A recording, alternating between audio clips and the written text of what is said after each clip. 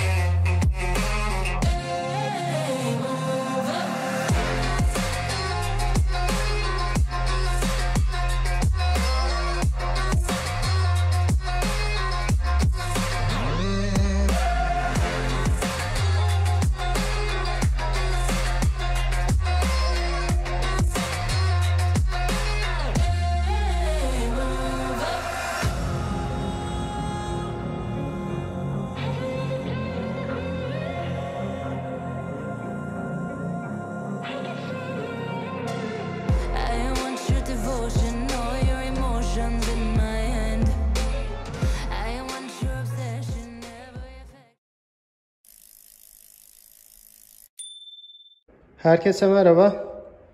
Bu videomuzda da Carraro Force 900 modelini inceliyoruz. 900 modelin en bariz farkı arkadaşlar. 920'ye göre fren sistemi gördüğünüz gibi. V frene dönüyor. Onda Shimano hidrolik frendi. Bir de maşa arkadaşlar.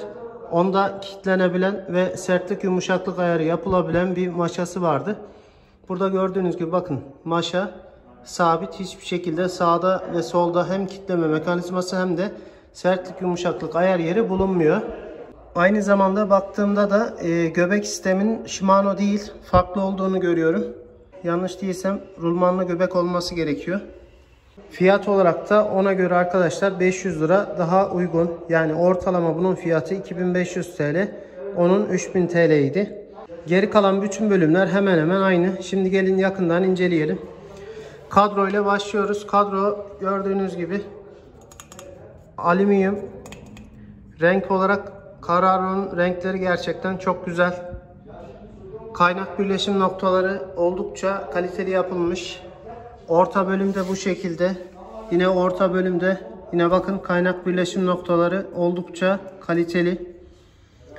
Pedala baktığımız zaman plastik bir pedal kullanılmış. Görüldüğü gibi diş yapısı fena değil. Reflektörler de bulunuyor. Şu bölümde matara kafesi takabilmeniz için bir adet yer bulunuyor. Ama bu bölümde gördüğünüz gibi herhangi bir vidalama yeri yapılmamış. Yine arkaya bagaj takmanız için bu bölümde vidalama yeri bulunuyor. Arka tarafa geldiğimizde de yine aynı şekilde iki adet hem bagaj hem de çamurluk takabilmeniz için vidalama yerleri yapılmış. Yine orta bölümde de bir adet vidalama yeri bulunuyor. Yani bu sayede de kolaylıkla çamurluk takılabiliyor.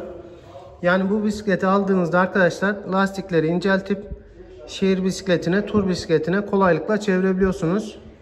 Diğer kablolarsa arkadaşlar alt borunun içine gizlenmiş bir şekilde. Bu güzel. Şu bölümde kadronun sağlamlığı için, kırılmaması için, çatlamaması için bir ek yapılmış. Bu da güzel. Tasarım olarak yine bu bölümde Carraro'nun kabartmalı bir logosunu görüyoruz. Renkleri gördüğünüz gibi farklı bir şekilde. Selesine bakalım. Selesi de oldukça sağlam diyebileceğim. Orta sertlikte bir sele. Kenar bölümlerinde size göstereyim. Şu bölümden bakın. Kenar bölümü. Ve arka tarafı da bu şekilde. Oldukça sağlam gerçekten. Alyan vidalı yapılmış.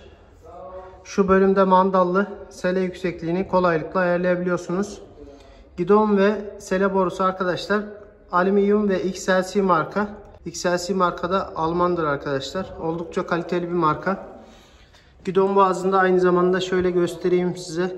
Yine gidon boğazı da çok uzun olmayan bir gidon boğazı kullanılmış. Gidon da gördüğünüz gibi açılı arkadaşlar. 68 santim uzunluğunda. Frenlerde muhtemelen alüminyum bacakları V fren kullanılmış. Şu an için herhangi bir marka göremiyorum. Birleşik olarak vites ve fren kolu görüldüğü gibi EF serisi dediğimiz seri hem vites kolu hem de fren kolu gördüğünüz gibi bitişik yapılmış. LG'ye baktığımızda hissiyat olarak oldukça güzel diyebileceğim, yumuşak diyebileceğim bir elcik kullanılmış. Maşaya geldiğimizde girişte de söylemiştim.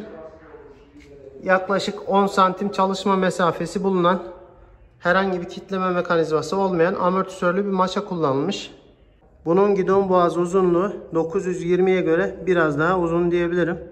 Bisiklet 21 vites, önde 3, arkada 7 dişliden oluşuyor. Shimano Tourney bir ayna kola sahip. Yine Shimano Tourney TS ön aktarıcı. Arkaya geldiğimizde Shimano Tourney arka aktarıcı. Arka tarafta görüldüğü gibi Shimano'nun Megarange sistemli bir rublesi bulunuyor.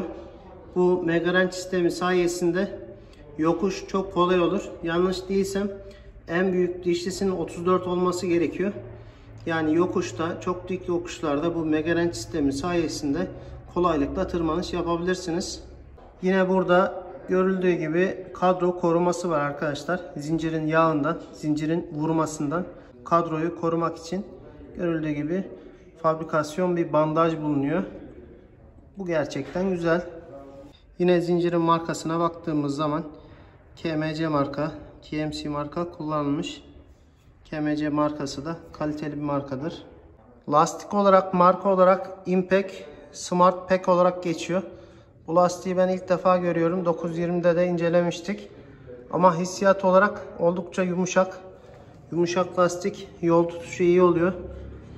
Desenleri de bu şekilde bu sayede dağda dağ sürüşlerinde, patika sürüşlerinde oldukça iyi şekilde yol tutar. Lastiğin ebatı 29'a 210. 210 aslında hem şehirde hem de dağda kolaylıkla sürmeniz için tasarlanmış diyebilirim. Ortası ne çok kalın ne de çok ince. Janta baktığımızda da yine Carraro'nun alüminyum V fren uyumlu jantları kullanılmış. Frenin pabuçlarına baktığımızda Alhonga marka kullanmış. Alhonga bildiğimiz kadarıyla kaliteli bir marka arkadaşlar. Hem ön hem de arka mandallı yapılmış. Bu sayede lastiğiniz patladığında kolaylıkla sök tak yapabilirsiniz. Giriş seviyesinde olsa üzerinde ayaklıkla geliyor arkadaşlar. Bu şekilde. Çok kaliteli diyemem ama en azından işinizi görür. Son olarak bu bisiklet alınır mı? Arkadaşlar kesinlikle tavsiye ederim. Özellikle kadrosu, kadro geometrisi kullanılan parçalar oldukça kaliteli diyebilirim. Bugünlük de benden bu kadar. Bir başka videoda görüşmek üzere. Kendinize çok iyi bakın. Hoşçakalın.